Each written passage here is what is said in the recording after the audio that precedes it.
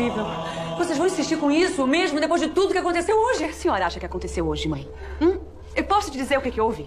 Um homem bom, justo, especial. Um líder foi covardemente assassinado. E uma força superior devolveu a vida que nunca devia ter sido tirada dele. E nem de mim. Amor, eu sei que tudo isso pode parecer bom. Bom! Mãe, foi, foi algo inacreditável.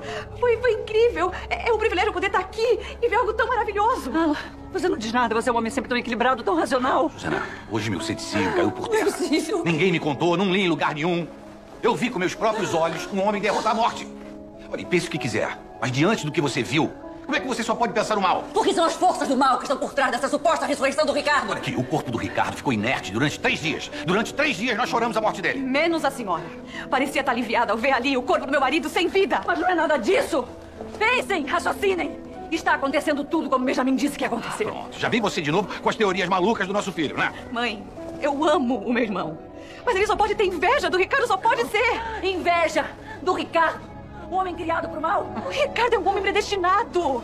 E eu me sinto honrada por ele ter me escolhido como esposa. Isabela, pelo amor de Deus, me ouve. Me ouve, você tem que me ouvir. Eu sou sua mãe. Você Chega, chega, isso. chega.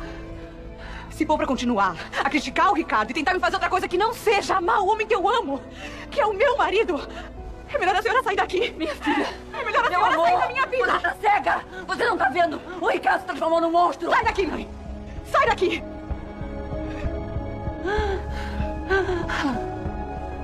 Por favor, me ajude. Você ouviu a nossa filha, Suzana. Não há mais nada a fazer a respeito. Por favor, Suzana, vá embora.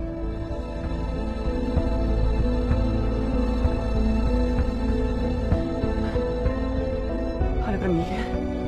Olha pra mim. Suzana, por favor. Eu tentei. Meu Deus. Como eu tentei.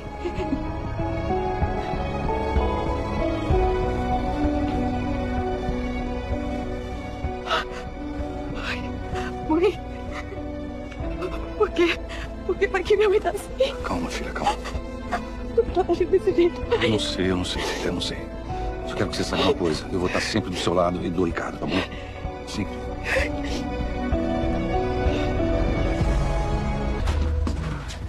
Oi! E aí, filhão? Ai, que saudade que eu tava desse meu pequeno. Deixa eu pegar ele aqui pra dar um beijo. Hum, meu amor, você se comportou? Claro que sim, olha a carinha dele de felicidade. Saudade, filho. Mãe, graças a Deus você retornou. Eu te liguei várias vezes. Você viu o que aconteceu? Ah, eu e o mundo inteiro, né? Foi horrível, meu filho. Você tinha toda a razão. O Ricardo tá transformando num monstro. Não, não, mãe, mãe, calma, mãe, calma. Vem cá, e minha irmã? Como é que ela tá? Você conseguiu conversar com ela? Ela nem quis me ouvir, filho. Ela reagiu muito mal. Ela me expulsou da casa dela. Completamente cega, enfeitiçada pelo Ricardo.